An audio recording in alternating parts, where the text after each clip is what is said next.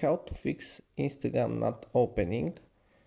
Stick to the end of this video and I'll share with you some Instagram tricks you may like.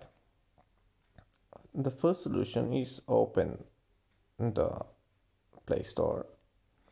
We type Instagram and here if you see instead of open upgrade that means you're not on the latest version so you need to click upgrade then restart your phone and try to open Instagram if this didn't help doesn't help the second solution is to click on your Instagram app and hold then the info button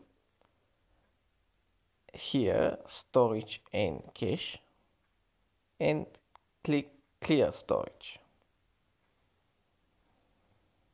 We click OK. Now you can restart your phone and try again.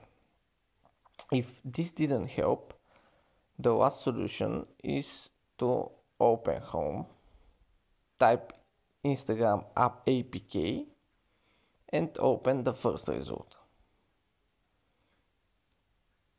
click on older versions and type and open one of the older versions.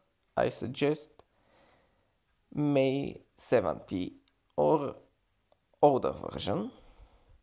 Here just click download. Click the link at the top to see interesting Instagram tricks